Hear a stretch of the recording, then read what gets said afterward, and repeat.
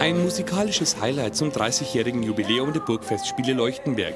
In diesem Rahmen haben Markus Engelstädter and Friends nur mit dem Programm der One Night to Remember Premiere gefeiert.